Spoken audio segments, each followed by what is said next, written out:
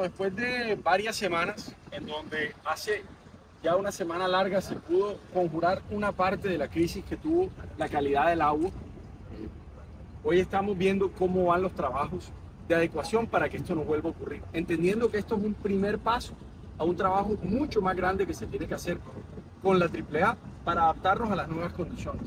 Condiciones que se originan por malos manejos, malos manejos de arroyos y complejos lagunares aguas arriba, al mismo tiempo por las dinámicas en donde tiene mucha más agua de la que venía antes y porque al mismo tiempo la morfología del río ha cambiado. Pero no podemos quedarnos en las excusas, hay que actuar. Por eso, hoy podemos ver tres cosas que están ocurriendo. Hay unos complejos lagunares río arriba, de Soledad, de Malambo y de otros municipios. Ellos reciben aguas de varios arroyos que no están tratadas, pero que se estancan ahí y eso hace que crezca material vegetal. Y esa agua va poco a poco llegando hacia la dársena de bombeo, lo que hace que el tratamiento sea distinto. Y si bien está dentro de parámetros, normales, cuando abrimos la llave la vemos que sale de un color que no estamos acostumbrados y decimos, a mí no me vengan con cuestos, esta vaina no está bien. Entonces, ¿qué le hemos pedido a la AAA?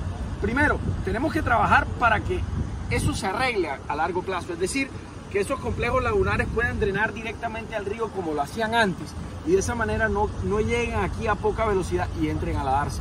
Pero mientras tanto, ¿qué se está haciendo? Primero, durante más de un año esa draga de alta capacidad ha trabajado para abrir canales de esos arroyos que lleguen directamente al río Magdalena. ¿Se acuerdan que hace un par de meses, casi un año, tuvimos una crisis similar por cuenta de esos arroyos? Y esa obra la está haciendo y pagando la AAA y no la está pagando quien debería pagarla. Y esa es una reclamación que haremos en su momento.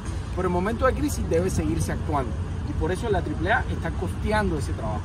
Segundo, se está abriendo un canal más ancho y más profundo para que entre agua cruda o agua fresca desde la mitad del río hacia la Darce. Es decir, que esa draga está abriendo un canal más efectivo directamente. Y tercero, el proyecto de respaldo, que fue el que le ordenamos y le pedimos a la AAA que, digamos, realizara de manera inmediata, es esta obra, en donde pueden ver ustedes, acá hay una bomba que es, entre otras, prestada, que maneja 2.7 metros cúbicos por segundo, son 2.700 litros de agua cruda por segundo. Y tiene una, una, digamos, una tubería de conducción que luego llega a tres tuberías luego llega a un canal de 330 metros de, de largo que llega a la darse directamente. directamente. Esta bomba se va a colocar o se coloca un poco más afuera del río para que como, como ustedes pueden ver ahí, ahí hay una clara distinción entre agua que va a gran velocidad y agua que está, por decirlo de alguna manera, estancada o a menor velocidad. Así que vamos a captar agua del río directamente y no estas aguas, digamos, de menor velocidad, que es donde se mezclan con esos complejos laborales de Soledad y de Malambo. Esta bomba es la primera, pero ya se está trabajando para adquirir tres bombas en una sola barcaza que van a mover más del 50-60% del agua cruda necesaria para procesarla y trabajarla en, eh, digamos, en este punto de captación de agua. Así que esta es la solución y esta inversión, así es, es 100% de la AAA. Así que esta es la solución que esperamos que no se vuelvan a presentar estos problemas. Aún así estaremos vigilantes, pero lo importante es que hoy la exigencia que se le hizo de nombre a nombre de los barranqueros a la AAA se está viendo en una realidad y es invertir, arreglar el problema y luego preguntar. Lo que vemos allá es básicamente la estructura de, de, de, una mesa que, continúa siendo eh, tragado en la entrada de nuestra boca toma precisamente para permitir el mayor flujo de agua eh, de mayor velocidad directamente del río y que no nos vengan básicamente las aguas de los cuerpos lagunares que en las semanas anteriores nos entró y nos afectó el tema de coloración.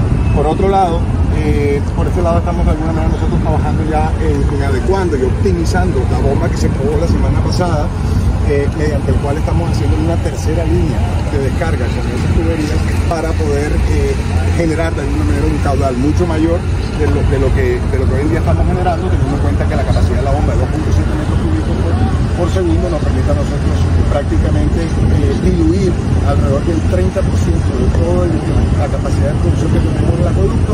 Y este es el seguro que nosotros tenemos. Y vamos a tener alcalde en el mediano, en el corto plazo, ya lo tenemos hoy funcionando, ya se probó, funcionó eh, las características que se, que, se, que se midieron cuando se hizo la primera prueba el viernes pasado, nos dimos cuenta de que las características del agua eh, mejoraron ostensiblemente.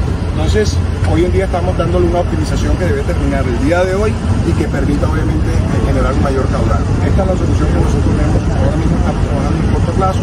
Vamos a tener una bomba mucho más grande que es la que estamos trabajando, que en los próximos meses vamos a tenerla de manera directa, que nos permita a nosotros aumentar ese seguro en caso de que se vuelva a presentar una situación de inundación. Eh, mucha gente, obviamente, como ustedes lo ven, eh, trabajando en el tema, nos hemos parado y, la idea es controlar la situación de agua